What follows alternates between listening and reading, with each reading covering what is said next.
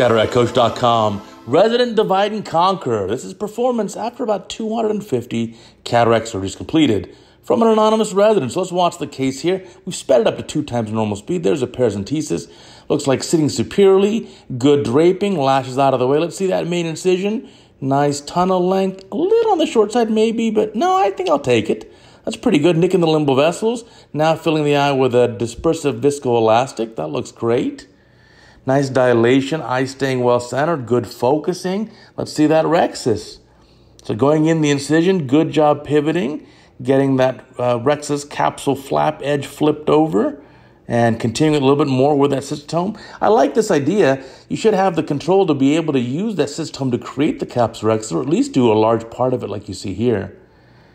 And now that it's uh, flipped over like this, now it's easy enough to grab it. And let's see the rhexis, good pivoting in the incision and looks like an appropriate size, probably about a 5 millimeter rhexis.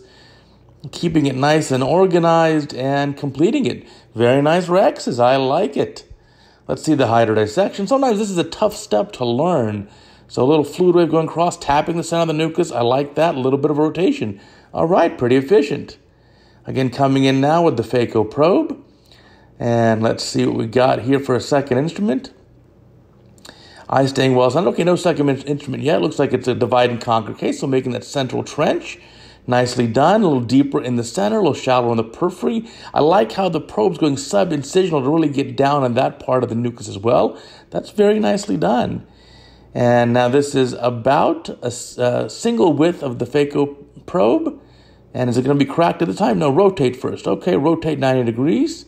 And then continuing here with the divide and conquer. Nice grooving again, deeper in the center, shallow in the periphery. And then rotating again. That ball tipped chopper or second instrument is doing a good job rotating that thing around. So this time doing all four grooves or quadrants uh, separating before actually doing the crack. There's the first crack, rotating it again. Second crack. Now look how the eye stays in primary. Say the eye is not moving around, the eye staying right in primary. That's fantastic. That's really a great job. Now switching to a higher vacuum level to get that first quadrant out of the bag. And once that quadrant comes out, obviously there's more working room and the rest will be easy. So beautifully done here. This uh, young doctor has certainly practiced a, a lot and it shows this is a really nice technique here, very controlled. You know, you can do divide and conquer as your primary method for the entirety of your career. Certainly nothing wrong with that. You find your happiness. And so in this case, divide and conquer was very cleanly done. Chopper there in that safe mode, taking out that last quadrant, last little bits of nuclear material coming out. Wow, beautifully done and very efficient. Minimal amount of phaco energy. So I think it's a great divide and conquer technique. Very, very nicely done. For case 250, hey, I'm impressed. I like it a lot. Now cleaning up the cortex here, going around, coaxial IA probe, and nicely cleaned up.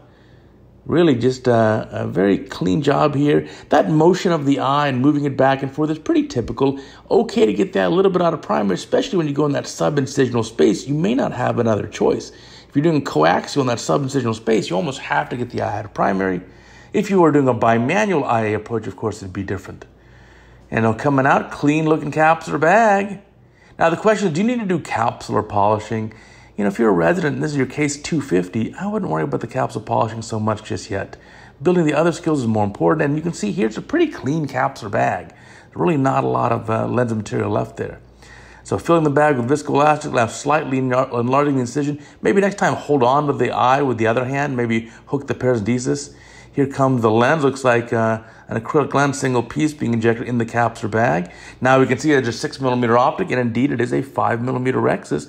Again, very nicely done, ensuring that the entire IOL is completely in the capsular bag, which it is. And now removing viscoelastic here. I really like this case. So whoever this anonymous resident or registrar is, wherever you are in the world, we enjoyed your surgery. You are doing a fantastic job here. So you've got the basics down beautifully. Now let's just uh, focus on some other little fine details. And again, here at the end, let's hope we can center that lens up a little bit more, maybe. But anyway, it looks fantastic. Keep up the good work and thank you for submitting the video. If you want us to review your video, hey, send it in. We get many submissions every day though, and we can't feature them all.